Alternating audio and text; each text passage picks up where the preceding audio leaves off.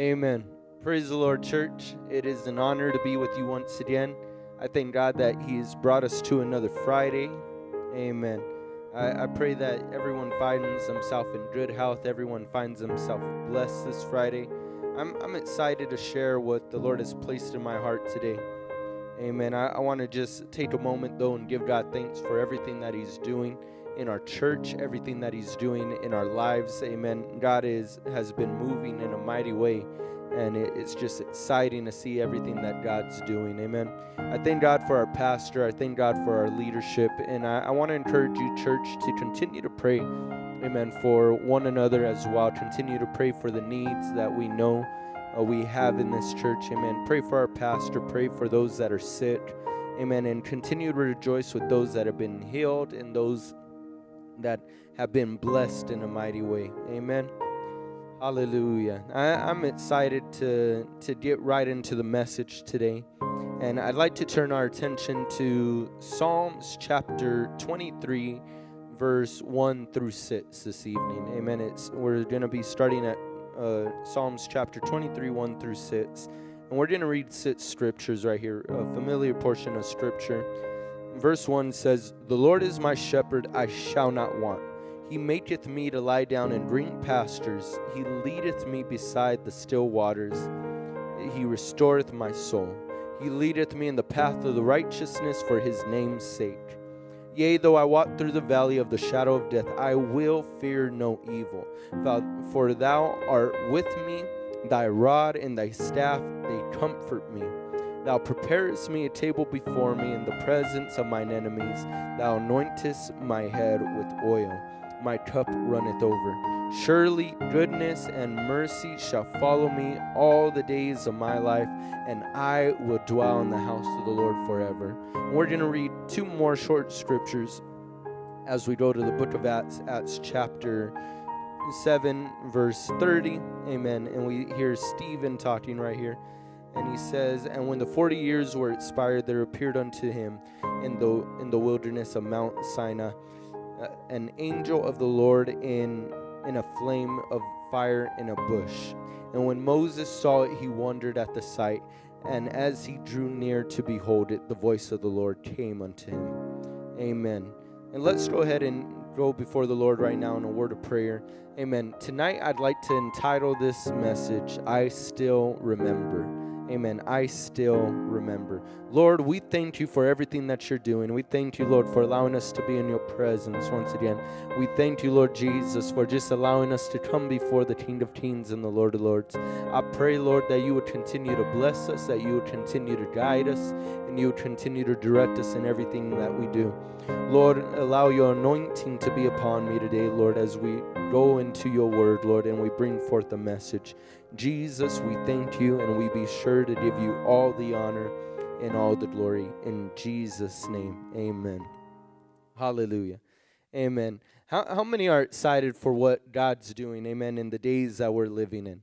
Amen. I, I know that as much as it is scary sometimes, as much as it is, amen, that we see the world changing around us and we see times, amen, moving fast Amen. It, it may get a little worrisome sometimes, but it is truly exciting times that we're living in.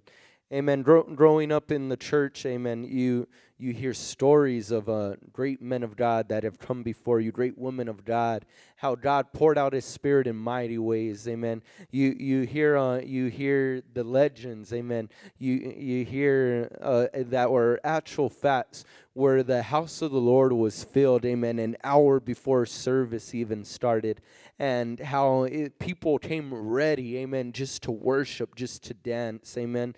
How altar calls would not not just end amen, at any time, but people would be at the altar for hours, amen.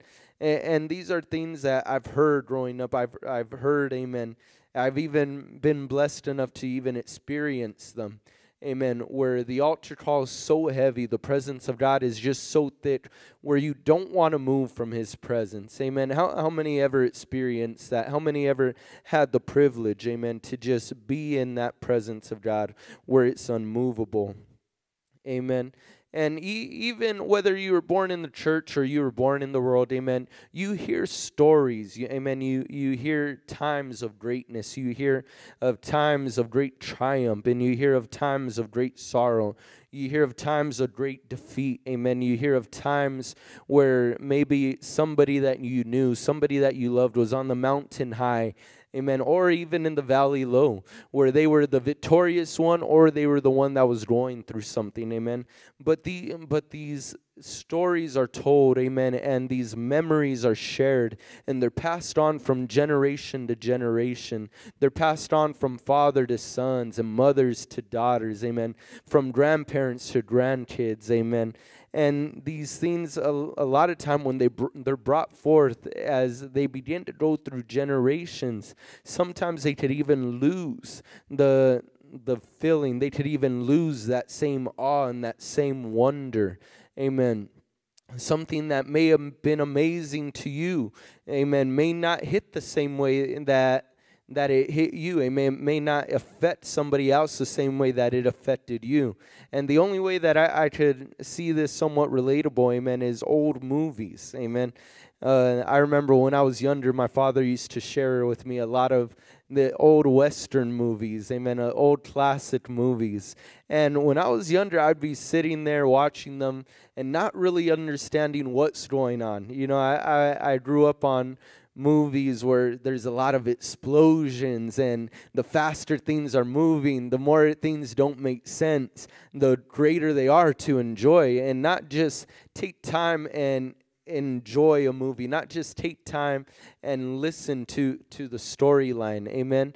But as I began to grow older, amen, those old westerns, those old movies that had a lot of talking, amen, those old movies that had a lot of dialogue, as you sit down and pay attention to them, you begin to uh, see, man, this is some great uh, entertainment right here. This is some quality material. Amen. And it's something that you couldn't really appreciate when you were younger.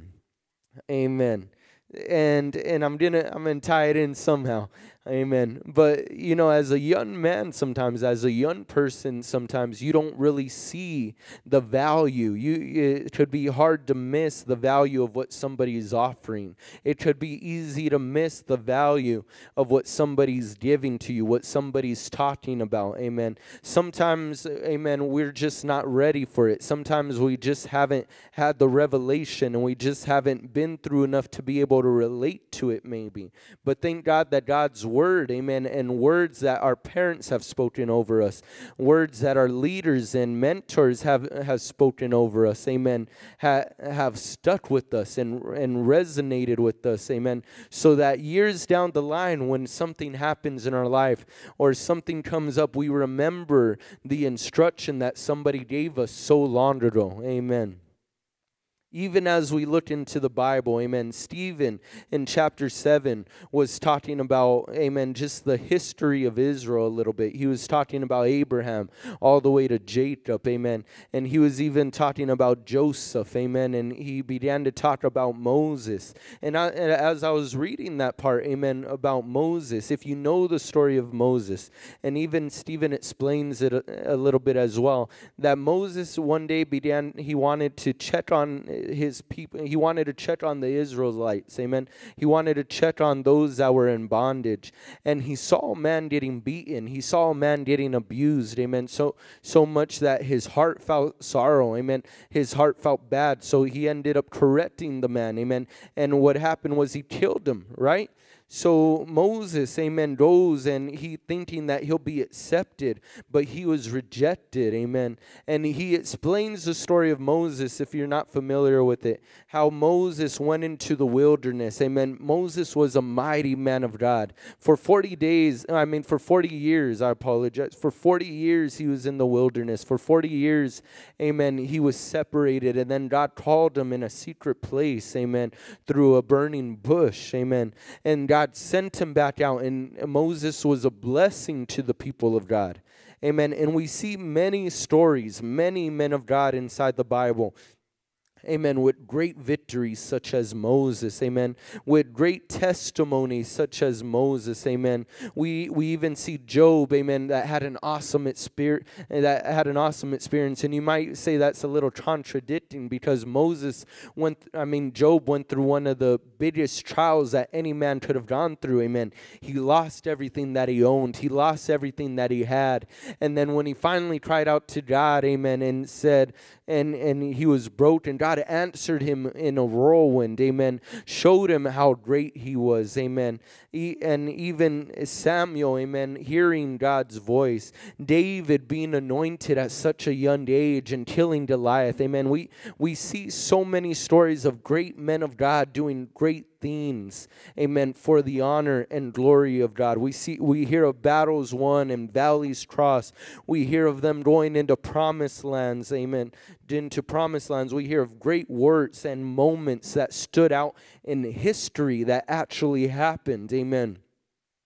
And all these great things amen but as I began to reflect on it, amen, I began to look and I began to just uh, see what what were these men's greatest moments, amen. For David was was his greatest moment when he stood above Goliath, amen, when he had killed him with a slingshot and a rock.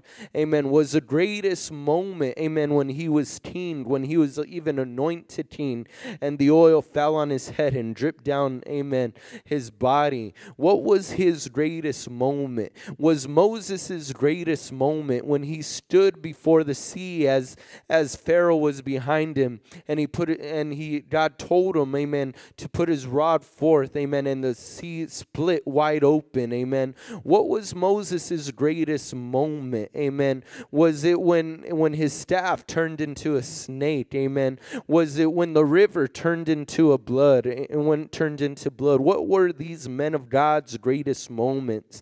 And as you begin to even reflect about your own life, amen, and you see all the many things that God has done in your life, you see the many things that God has even brought you through and how He has kept you, amen. And I know that we have victories that we've won. We have victories, amen, that that we've accomplished through God. Amen. I can tell you about times, amen, where I was sick or when one of my friends or one of my family members was sick. Amen. And God allowed me to anoint them. God allowed me to pray for them and they were healed. Amen. I can tell you about the times when I had financial needs. Amen. And I didn't know a way out. I didn't have an answer. And God stepped in and turned the situation around. When I needed a job, when I needed finances, amen, and God was faithful. He gave me a raise raise. Amen. He put it in the in the my coworker and my boss's heart to give me a raise. I can tell you about these great victories. Amen. And as you even begin to reflect, you may begin to think about what were your greatest moments in God? What were the moments that stood out to you? What were the moments, amen, that can't compare to nothing? Amen. And as I was remembering this, I, I looked at Acts chapter 7, verse 30. Amen. And it talks about when 40 years were inspired. there appeared to him in the wilderness, amen, the flame of fire in a bush, amen. And just that moment right there, amen, it, it must have been an encounter like he's, ne- he's never experienced. It must have been an encounter, amen, that he's never seen before. Yes, Moses, amen, the same one that was saved, amen, from being killed when he was just a baby. Yes, Moses, amen, the same one that was taken in by Pharaoh's daughter and raised, amen, Moses, the man of God, amen, that's had so many blessings, now is alone, amen, in the wilderness as he goes into a mountain, amen, and he sees a, a, fire, amen. He sees a bush that is on fire that is not being consumed. And as he walks towards the bush, amen, he hears the voice of the Lord, and it says, hallelujah, it tells him to remove his, his shoes, amen, because he is on holy ground, amen. As as we go to the book of Acts, real quick, amen. Acts chapter 7, verse 31, amen. Hallelujah, hallelujah. Saying, I am the. And when Moses saw it, he wondered at the sight. As he drew near to behold it, the voice of the Lord came unto him, saying, I am the God of thy fathers, the God of Abraham, and the God of Isaac, and the God of Jacob. Then Moses trembled and durst not behold. Then said the Lord to him, Put off thy shoes from the feet, for the place where thou stand is holy ground. Amen. Uh, what an experience this must have been. Amen. What an experience when nobody else was around. Amen. A lot of the times we, we like to think the greatest moments that we've ever had, the greatest moments that a person may have ever encountered, amen, was when everybody was around to watch it, was when our fathers and our mothers and our brothers and our sisters were there to support us. Amen. In the victories, amen, where we came out triumphant and we came out, amen, with, with our hands raised and we came out a new person, amen. Whether it was at a football game when you were younger, amen, or a sports activity, amen, or it was something that you were just proud of. Maybe you sang a special song, maybe you preached your first service, amen. Maybe Maybe you gave a word, amen. I, whatever your most triumphant time was, amen. We may look at those things at our, as our greatest moments and the greatest times in our life where we were able to share with somebody else, where we were able to share an experience with a loved one, where we were able to share an experience, amen, with a brother or a sister, amen.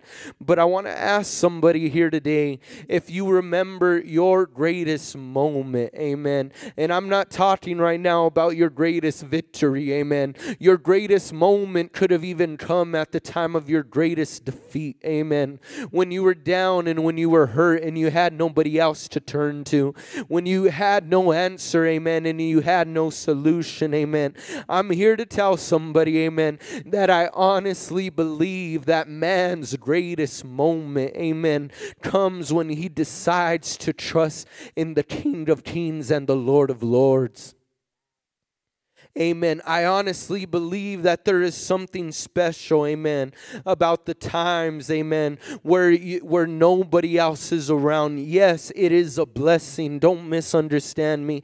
It is a blessing when you have your brother on your side, amen. It is a blessing, amen, when you got somebody backing you up, when you're in a prayer meeting with one another, amen, and God's moving, God's healing, God's restoring, amen. It is a blessing, amen. But there's something special that happens, amen, when a man or a woman of God finds themselves alone in that secret place, amen, in that secret space, amen, where nobody else is around and you're you're having a one-on-one encounter, amen, with the Father in the King of Kings. Hallelujah.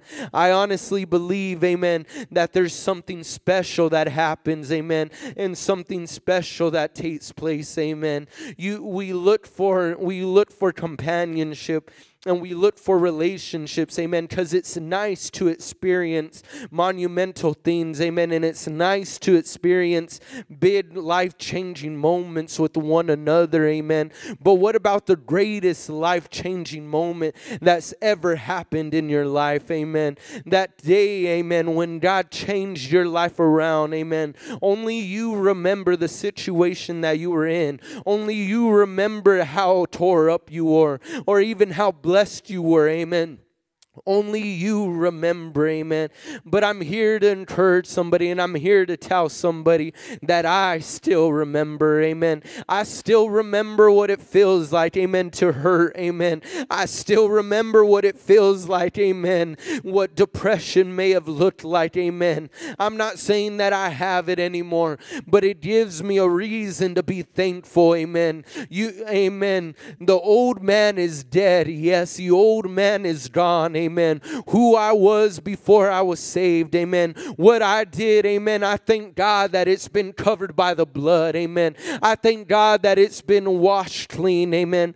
But I'm here to tell somebody but I, that I still remember what God has done in my life, and I still remember how it felt, amen. When I dropped down to my knees for the very first time, and my heart began to break, amen, and my soul ached, hallelujah hallelujah. But something supernatural came before me, amen, and put a bandage and put his loving arms around me, amen. I still remember today, hallelujah. And I think about how David, amen, and these men of God, and I, I know I'm jumping around here a little bit today. I pray that you stay with me, amen. But I, I, I think about how David, amen, men of God like David, men of God like Moses, amen, as they grew older, amen, and they began, amen, to, to grow old with age, if they ever just sat for a moment and pondered, amen, they ever just sat for a moment and remembered, amen, everything that God had did for them, everything that God had brought them out of, amen, everything that God had, had blessed them with, amen. David is, is one of the men, amen, in the Bible that actually writes songs giving God the glory, amen. He, David not only wrote songs, amen, to give God glory, but he wrote songs, amen, when he was going through trials, amen. He wrote songs, amen, at different seasons of his life, amen, to reflect what he, what what stage of the life of his life he was in. Amen. In Psalms 23, verse 1, amen in Psalms chapter 23, it talks about how the Lord is my shepherd, amen, and I shall not want, amen. It taught, it begins to explain to us, amen, that God keeps us, amen, and God protects us through everything, that He restoreth my soul, amen. He leadeth me in the path of the righteousness for His name's sake, amen. That's verse 3. And then in chapter 4, one of the most known scriptures in the Bible, it says, Yea, though I walk through the valley, amen Yea, though I walk through the valley, amen. And I know there, there may be a deeper meaning to that, amen. Valley of the shadow of death, I will fear no evil, amen. But I'm here to remind somebody as well what a valley is, amen. A valley is a narrow road, amen. A valley is a tight squeeze sometimes. A valley is something that might not be comfortable. A valley is a straight path, amen. A valley is a place where, where you can't go into it with a giant group, amen you have to go maybe one by one. You may have to go, amen, on your own sometimes. Your brother will still be behind you, your brother will still be in front of you, amen. But you, sometimes you got to just trust and keep on walking. You got to trust and keep on stepping, amen. And as Apostolics, amen, we walk on the straight and narrow, amen. The, the the path that we have chosen, the path that we have been the opportunity, amen, to take in the days that we live in. Amen. It, it's not a path with multiple options. It's not a path, amen, where we get to choose and have it our way. Amen. Hallelujah. There's a sacrifice that comes with living righteous. There's a sacrifice that comes with living holy. There's a sacrifice that comes with being a godly man and woman. Amen. But let me tell you that the sacrifice is well worth it. The sacrifice, amen, is worth, amen, the reward. Amen. Because our God God has been too good to us. Our God has been too kind to us. Amen. And it is worth, amen, walking through that valley sometimes. Amen. It is worth walking through that dark time sometimes. It is worth walking through that pain. Amen. Sometimes it is worth it. Amen. Because the Bible says, hallelujah, for thou art with me. Amen. Even when I'm walking through the valley, even when I'm going through hard times, even when I may have sickness and when I may have pain pain, when I may have hurt in my body, thou art with me, Lord. No matter what my situation looks like, no matter what the circumstances look like, thou art with me. Hallelujah. Oh, and I believe in these times, amen, when we may get a little lonely, when we may not hear, amen, the voice of God so clearly as we once have, when we may not be able, amen, to see the path in front of us so clearly or so brightly lit, amen. I believe during these times, amen, when that phrase comes in more than ever, amen, for thou art with me, amen. We got a church in the days that we're living in, family lifestyle Center, I believe that you believe that God is with you. Amen. No matter what you're going through, no matter what it feels like, can you still believe that God is with you? And this is where it ties in. Amen. Can you remember, amen, when it gets hard to remember? Can you look back, amen, and reflect on the testimony that God has already given you, amen, and begin to realize just how good He's been in your past and remind yourself, Thou art with me, Lord. You were with me, amen, when I was at my lowest, Lord Jesus. You were with me when I was at my greatest moment. You were with me, amen, in every good time and every bad time before. And I know surely, surely you will be with me again, Lord Jesus. Hallelujah. Thou art with me here today. Amen. We got to remind ourselves sometimes, amen. We can get caught up in the worries of life. We can get caught up in our current situation. We can get caught up in the things that we're going through right now. We can get caught up, amen, in what, what tomorrow brings. We can get caught up in what the media is portraying. And we can get caught up in what the politics are portraying. Amen. And we can we can forget, amen, everything that's already happened. We could even forget the, the, the victory that God just brought us through. We could even forget, amen, everything that God just did, not just a moment ago, amen, as we get distracted and we get entangled, amen amen with the with the troubles and trials hallelujah but i'm telling you church here today remember that that, that God is with you. Amen. No matter what valley you walk through, no matter what trial you walk through, no matter what circumstance you walk through, I want to remind you, amen, that God is with you. Amen. He has never left you and He will never forsake you. Amen. We got to remind ourselves, amen, like Joshua, amen, like God told Joshua when Moses passed away, amen. The same way I was with Moses is the the same way I'm going to be with you, Joshua. The same way I was with your father is the same way that I will be with you, son. Amen. Our God is not a God that just is able to do it one time. Amen. Our God is able to, to do miracles, signs, and wonders. Our God is able to heal the sick and save. Amen. Save those that seem to be lost without the without a cause. Amen. S- save those that seem to have no purpose in life. Our God is able to do it. Hallelujah. God is with you. Amen. It says, Thy rod and thy staff, they comfort me. Amen. Thou preparest a table before me. Amen. Eh, before me in the presence of my enemies. Thou anointest my head with oil. My cup run, runneth over.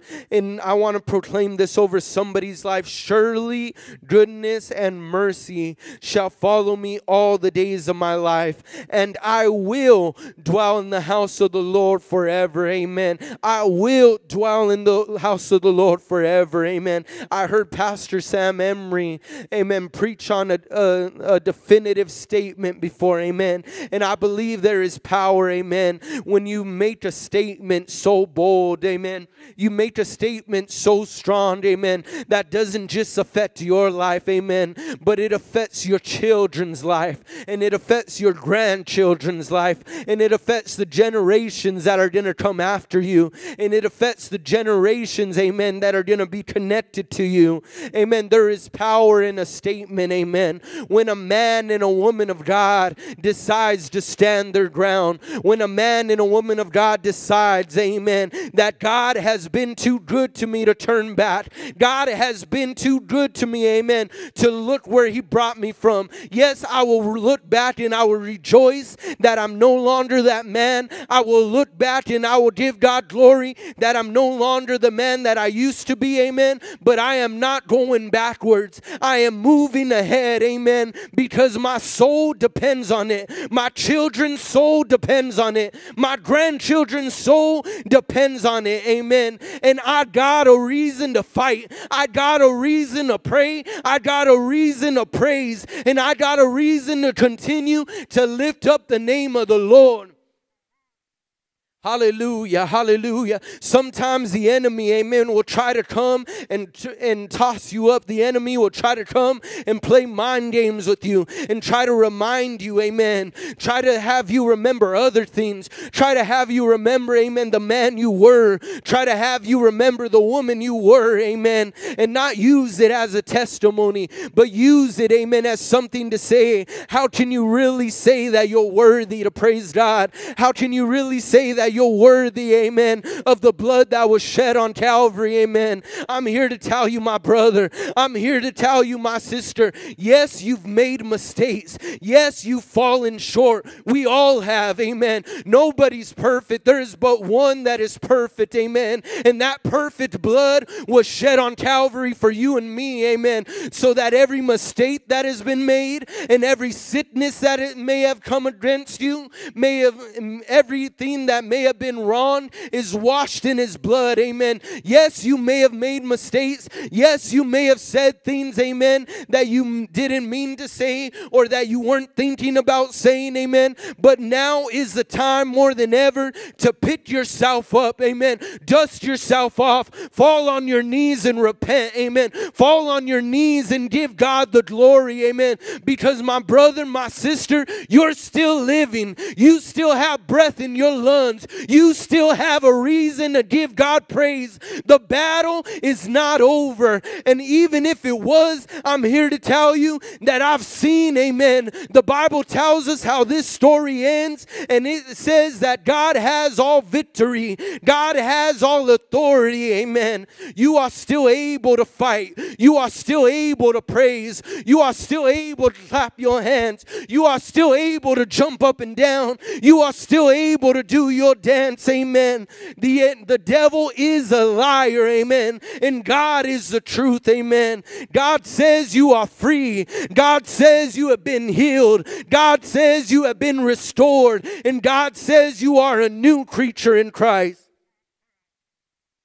Hallelujah, hallelujah when, when you went down in those, those waters of baptism, amen, you were no longer the same man, amen. You are no longer the same woman, amen. Your past, amen, has been covered by the blood, amen. Your past has been covered, amen, by the precious blood of Jesus Christ, amen, amen. And do not take that blood lightly, amen. I'm talking about the blood, amen, that ran red on the cross. I'm talking about the blood that is able able to save. I'm talking about the blood that is able to heal. Amen. This is not just any ordinary blood. Amen. But when this blood gushed, amen, when this blood ran down that tree stump, when this blood ran down that cross, amen, it rolled down with all power and it rolled down with all authority. Amen. This was not any ordinary man's blood. Amen.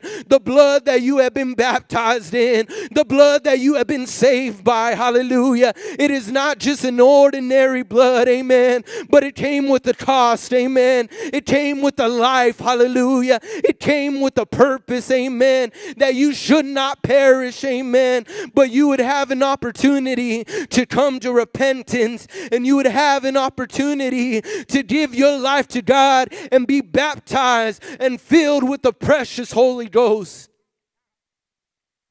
Hallelujah, hallelujah. We thank God for the blood because where would we be without that blood? Where would we be, hallelujah, without that blood? Where would we be, amen? I would still be lost. I would still be confused. I would still be in my sin and my shame, amen. I would never been, amen. We would never be redeemed. There would never have been an atonement, amen, for men and women, hallelujah. But we thank God for the blood that was shed. We thank God for his blood. Amen. We thank God for the blood. Hallelujah. I still remember the day, amen, when I fell down on my knees and I repented of everything, every mistake, everything that I'm that I may have done and everything that I'm gonna that I may do. Hallelujah. When I repented, hallelujah, I still remember the day when God filled me with this Holy Ghost. I still remember the day